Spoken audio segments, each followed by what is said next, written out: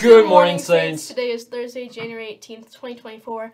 Happy birthday today to Colin Allen and Claire Pinkham. The saint of the day today is Saint Jaime Hilario Barbal. Saint Jaime was martyred during the Spanish Civil War in 1937 for being a Christian.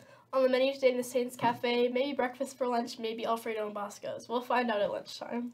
Today, tomorrow, and Saturday, the boys basketball team hosts the Saints varsity tournament here in the gym. Saints Bowling will be at Bowlero OP today and Olathe Lanes East on Saturday.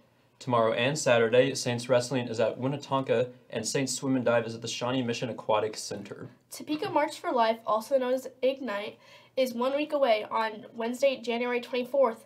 It is an all-day field trip from 7:30 a.m. to 2:45 p.m. We will ride coach buses, hear great speaker Melissa Ohden, an abortion survivor, speak about why going pro-life is so important, mass with the Archbishop, and then march to the Capitol to show our support for mothers and babies. It costs $30 to attend, which provides a coach bus ride with movie to get you to the events. You will need to bring a sack lunch, but we will provide water and cookies. This event is open to all students, so get your friends together and support life.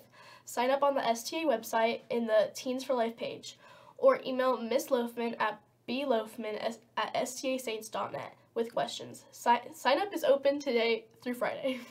Now, time for the dad joke of the day. Why do cows wear bells? Why? Because their horns don't work.